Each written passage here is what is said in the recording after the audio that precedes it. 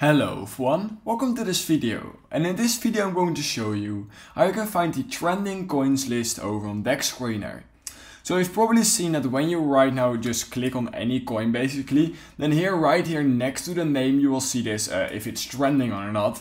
And here you will also see a few coins that are currently trending at the top of the chart.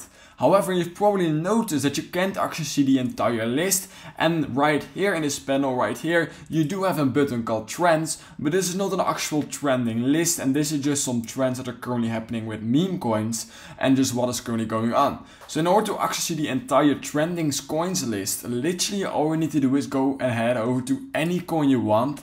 And once you've done that, you will right here see that trendings list.